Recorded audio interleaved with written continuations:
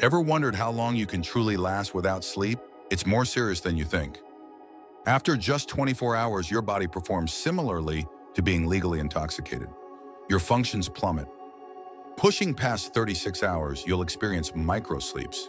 These are brief, involuntary moments of unconsciousness. At 48 hours, reality can blur. Hallucinations and paranoia become common occurrences. Beyond 72 hours, severe cognitive deficits and extreme fatigue dominate your state. Your body desperately craves sleep. This pushes your internal systems to their absolute breaking point. The longest voluntary record is 11 days, 25 minutes by Randy Gardner with major side effects. Prolonged sleep deprivation significantly weakens your immune system, increasing risks of serious health issues. Sleep is not a luxury, it's a fundamental biological necessity. It allows your body and mind to repair. So, prioritize your rest. Undersleeping is a grave mistake. Embrace proper sleep for a healthier you.